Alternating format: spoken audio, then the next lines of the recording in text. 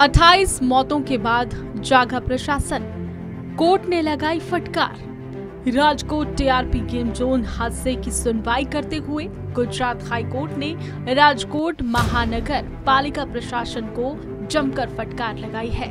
Court ने कहा कि बच्चों समेत 28 लोगों की मौत के बाद आपको अब पता चल रहा है कि शहर में दो गेमिंग जोन बिना परमिशन के चल रहे हैं। क्या आप अंधे हो गए हैं?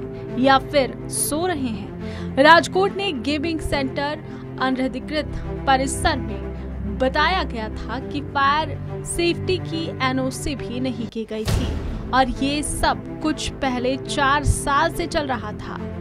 अब हमें नगर प्रशासन और गुजरात सरकार पर बिल्कुल भरोसा नहीं रहा।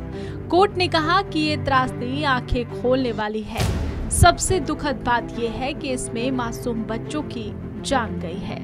गुजरात हाईकोर्ट ने 26 मई 2024 को राजकोट टीआरपी गेम जोन हादसे पर एक्शन लेकर सुनवाई शुरू की थी। हाईकोर्ट ने रविवार को भी सुनवाई की। राजकोट पुलिस कमिश्नर ने कोर्ट को बताया कि टीआरपी गेम जोन को कोई इजाज़त नहीं दी गई थी।